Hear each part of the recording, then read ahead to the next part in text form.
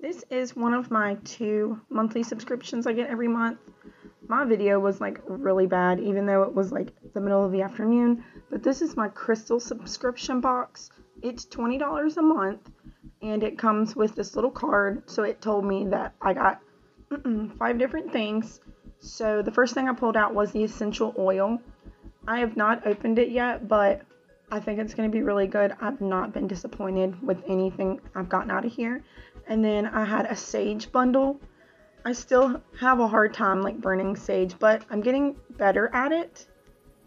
Then the next thing I got was this really cute um, diffuser necklace. It's really pretty. I think it's very cute and I can definitely use that oil that they sent with it in it. So that was really cute. And then I got incense cones. I have one of the waterfall ones. I probably will use them really soon. And then each box comes with like a tumbled crystal and a non-tumbled. So I got two this time. Um, my pronunciation is not good, so I'm not even going to try. But both of them were absolutely gorgeous.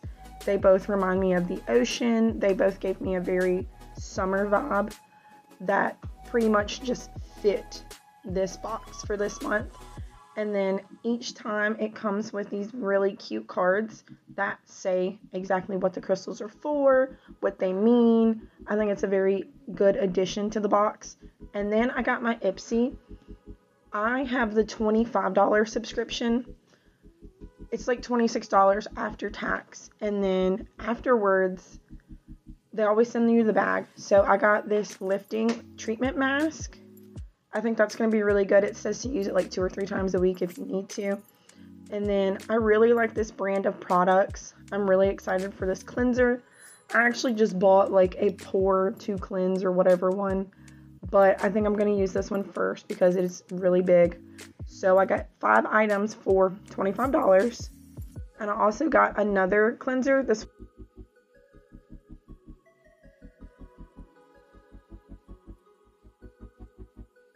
I can't remember why I picked it up the second time, but I wanted to like look at it again. It's a purifying cleanser. And then I got a very cool looking like lip balm. I haven't tried it yet, but I think I'm going to take it with us on our trip. It seems really good. I love that I can pick my items. I think that's what helps me. And then this is a curl cream. So thank you for watching my subscription video.